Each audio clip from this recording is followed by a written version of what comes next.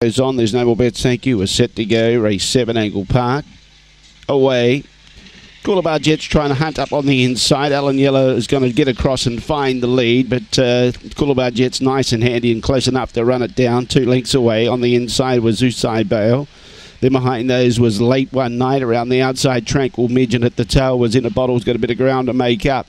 Still out in front, Alan Yellow, but not for long. Here comes Coolabah Jet getting up on the inside as Usai Bale and late one night going to the front. Coolabah Jet down the outside. Late one night's making a surge, but Coolabah Jet beats late one night. Third was Usai Bale. Alan Yellow held on for fourth in front of in a bottle, and then Tranquil Midget at the tail end of the field. The late scratching was punishment. 30 20 the time. It's one, seven, two. One, seven, two, and three. One, seven, two, three, the judges' numbers.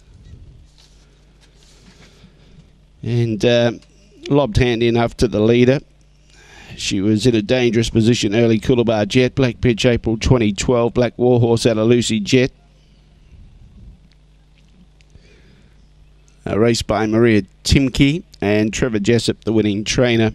443 was the early split. 443. 1712 down the back. 30 20 the overall time. The run home was 13.08.